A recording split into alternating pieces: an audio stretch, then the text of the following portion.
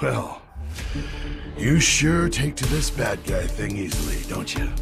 And you sure know how to play Boy Scout.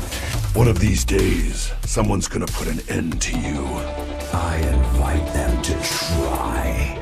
This is how it should have been. You look bad, Jack. No, Jack, you're done.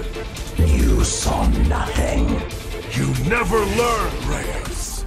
Oh, did things blow up in your face again, Gabe? I'd rather wait a century for progress than cause the harm you have. What a joy it must be to feel entitled to patience.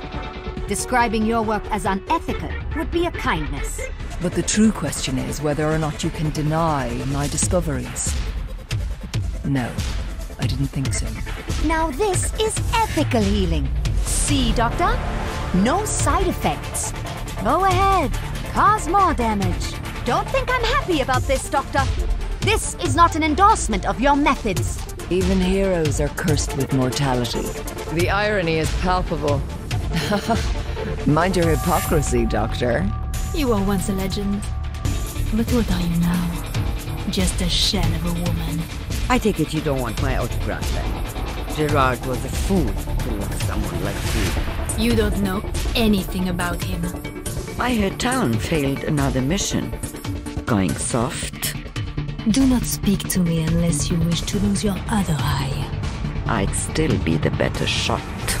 No hesitation this time. You will fear me. There goes your other eye. The world's greatest sniper. Formerly.